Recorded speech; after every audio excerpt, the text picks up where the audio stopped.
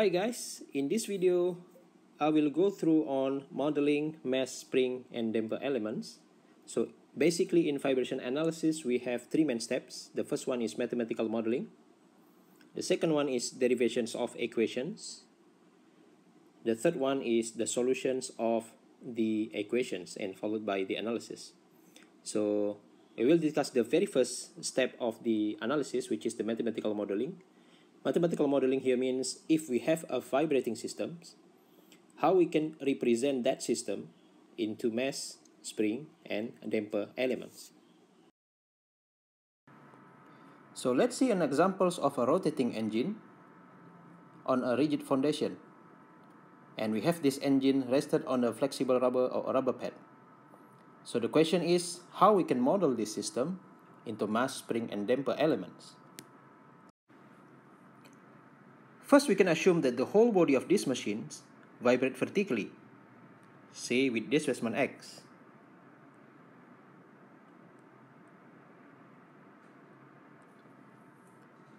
So you can imagine now this machine is it's like a bunch of mass going up and down. So and therefore we can model this machine as a mass. So let, let me draw this one here.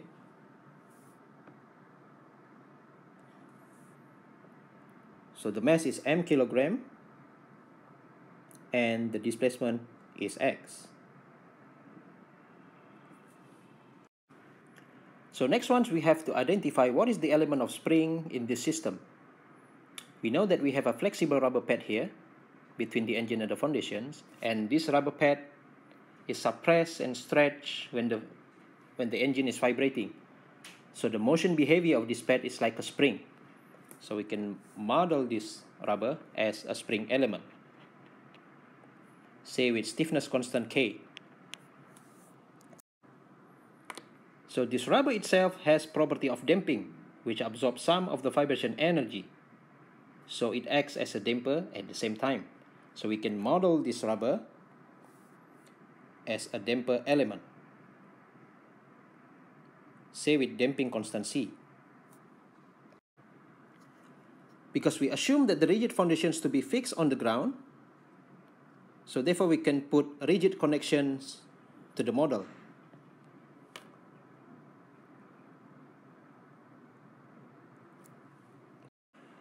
So you see, we require a bit of engineering judgment here when modeling the system into mass, spring, and damper element.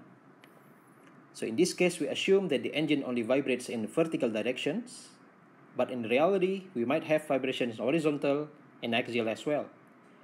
But if from measurements we know that the vibration in the vertical direction is dominant, then we can ignore the vibrations in other directions. In other words, it is sufficient to model the systems with vertical vibrations only.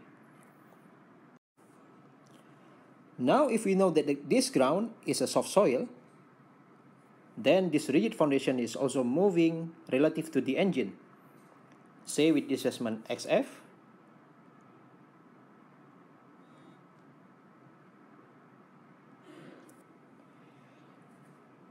Therefore, we can model this rigid foundation as a mass.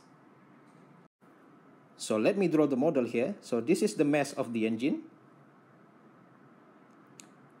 This is a spring and damper element from the rubber pad. So now we have the second mass, which is attached to that spring and this damping element, which is the mass of the rigid foundations. Say with capital M kilogram. Now, because the ground is a soft soil, so we can model this soil to have a stiffness property. So we can we can model the the soil as a spring, say with stiffness constant Ks. At the same time, it has a damping property, say with damping constant Cs. Okay? So displacements of the engine is x and displacements of the rigid foundations is xf.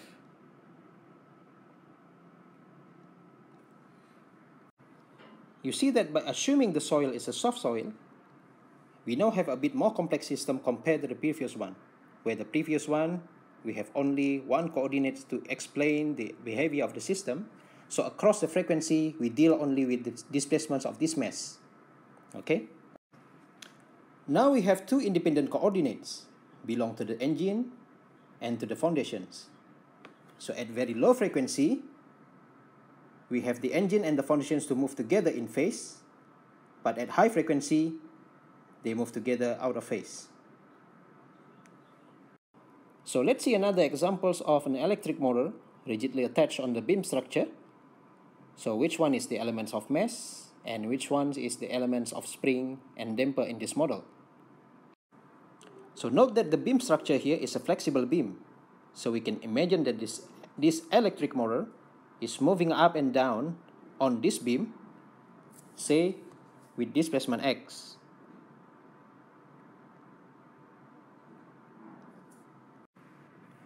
At very low frequency, the beam can have this kind of deflections.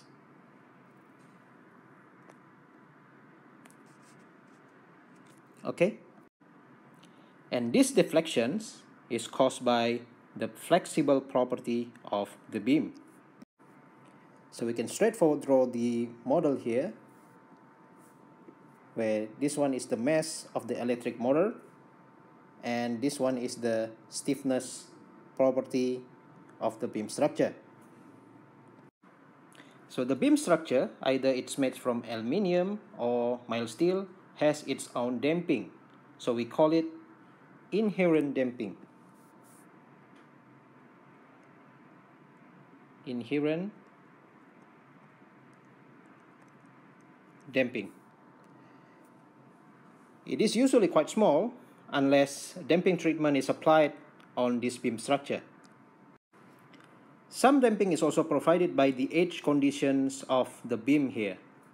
Okay, so this is how the beam is connected to the wall, for example, or how the beam is connected to the other structure. So then we can add damper element here in this model. There are two things that we should take note here. The first one, that the value of the stiffness is the stiffness at this mid-bay of the beam. Okay, because the motor is located at these locations. If the electric motor is located somewhere else on the beam, let's say, for example, here, so then we have to take the value of the stiffness at this location. And remember, the value of the stiffness also depends on the edge conditions of of the beam. The second one is that the beam here has its own mass.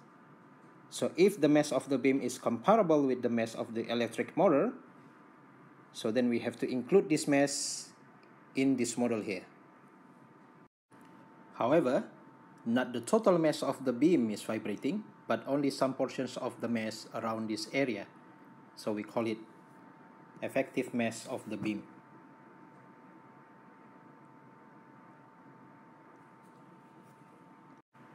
and don't forget to put the displacement here so finally we have the mass spring damper element model of this vibrating system.